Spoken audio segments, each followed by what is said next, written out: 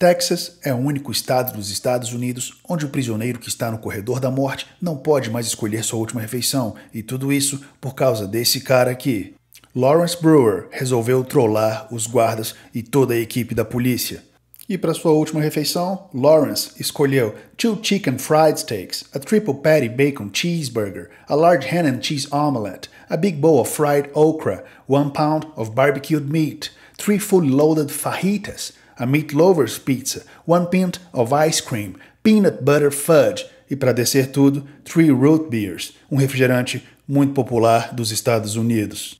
Os cozinheiros da prisão prepararam tudo com muito carinho, e quando levaram a refeição para Lawrence, ele disse: Hoje não estou com fome, pessoal, muito obrigado. Ele não deu sequer uma mordidinha, e a consequência é que a última refeição para os prisioneiros no corredor da morte foi banida do estado do Texas. Se eles quiserem comer, eles que se satisfaçam com o bandejão da prisão.